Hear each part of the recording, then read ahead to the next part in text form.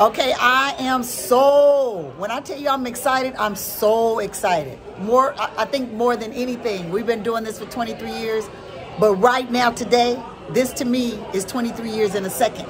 Because right now, I have my partner right here, Dr. Dwaun Warmack, who is the president of Claflin University, Orangeburg, South Carolina. And we are announcing an, an, an un, it's unbelievable. We're making history right now. Right now, we have just made an agreement to do a dual enrollment program. That's right, NC, eh, NC, I can't even know my name. NCRF, Black College Expo, is doing a dual enrollment with Claflin University. What that means, juniors and seniors, high school juniors and seniors, you qualify.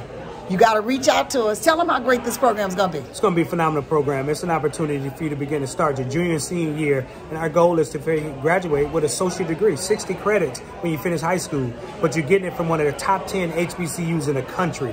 And so we, our goal, hopefully you come to Claflin, but if not, if you go anywhere else you decide to go, all of your credits will be transferable. So the goal is to ensure that you leave your high school uh, endeavors to be able to prepare for college and hopefully finish college in two years. Oh, so it man. is remarkable that if you can come in here and do those things and hopefully finish your graduate degree in two more years and have a bachelor's and a master's degree in four years. We want oh, to be part goodness. of the solution. See what I'm saying, historic. And guess what?